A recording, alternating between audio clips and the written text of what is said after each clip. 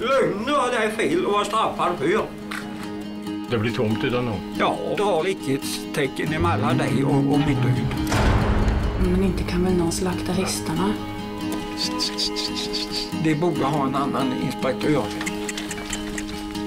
Är hästarna kvar här i vinter så kommer du få ett nytt besök och se att det fungerar. Ja, jag är äcklig fin i munnen. Så jag är äcklig har fin på den så. Kan du inte lätta blinkande lampor?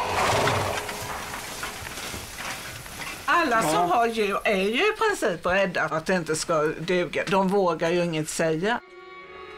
De skulle gå ut i hagen. Ja, det är ingen fara att gå ut i hagen. Vi Hur halta är de då? Det är de goda gärningar som lägger glödande kol på din ovans huvud.